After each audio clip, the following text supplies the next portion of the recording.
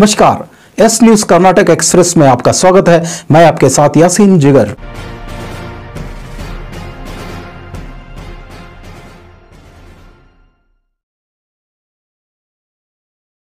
बिजली गिरने से तीन लोगों की मौत, एक गंभीर रूप से घायल। ये घटना है बीजापुर शहर के अफजलपुर तक के अफजल खान मकबरे की। अचानक हो रही बारिश के चलते बिजली के अटैक से तीन लोग और चार जानवरों की मौके पर ही मौत हो गई। और एक गंभीर रूप से घायल बताया जा रहा है। ये घटना बीजापुर ग्रामीण पुलिस थाने में दर्ज है।